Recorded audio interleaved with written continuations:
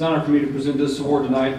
Uh, Before I get started, I feel like I have to defend myself a little bit. Brad's calling me cheap up here earlier.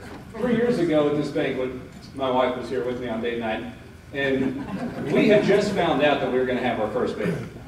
We had only told Brad so that we could go home and tell our parents, and he was introducing us, he said, and expecting. Well, we now have two kids, so you take the date nights where you can get them. But uh, anyway, we're here to talk about our Boys Coach of the Year.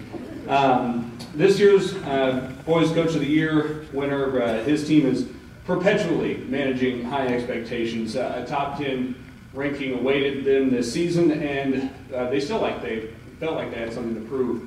It was apparent with them talking with them about that over the course of the season.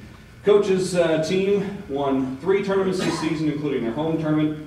They also avenged a loss in the last round of a road tournament from last year and uh, achieved a district championship.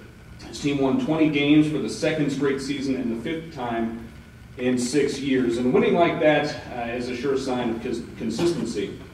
Because the school hosts a tournament, we get the rare chance to see that consistency in, in practice before some of those games begin. And it's something his players clearly understand. It's something that his opponents, uh, his, his peers, talk about quite often when we speak to them about his teams. In fact, uh, coach is so consistent I was convinced that he had one shirt and one tie that he wore to every game, every season. And I'm happy to say that that theory is still alive. He has the shirt on tonight. I think it might, he might have found a new tie for the occasion. But despite all that consistency, our 2016 Boys Coach of the Year has never won this award. According to MSHSAA Records, Coach's 78% win percentage is currently top 10 in Missouri history. He's won over 300 games in just 14 years, and he's taken teams to the Show Me Showdown twice in the last five seasons. Now he can say he's the KRES Coach of the Year. Congratulations to Glasgow's Mick Cropp.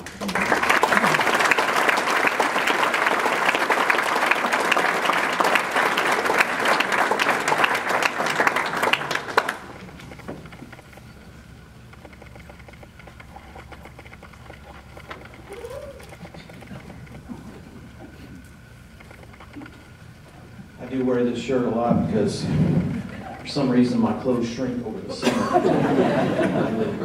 it's definitely the clothes, but uh, I do uh, want to thank some people. I want to thank uh, my players. Uh, couldn't be done without these guys, uh, these guys that are here and the guys that are back home. And uh, thank the parents and the community of Glasgow and uh, thank my family. And uh, special thank you to my wife who uh, also I'm sure I deserve it, but she does a lot of yelling for free too. So uh, that's her job. And also, um, she's uh, done a great job of raising uh, three three babies, two of them being our own kids, and the other one being me.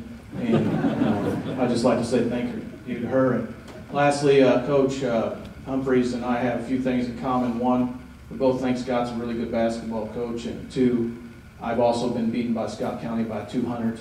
And uh, three, um, you're honored to be and humbled to be on the list that you're on, and I'm honored and humbled to be on the list that's in this uh, program to coach against uh, these guys year in year out and maybe better a better coach. And uh, Coach Roberts, I know a lot of people have have uh, given you uh, props, so to speak, and I'd also like to say thank you for your uh, camaraderie and coaching through the years have made me a better basketball coach, much like a lot of the other coaches on that list. Thank you very much.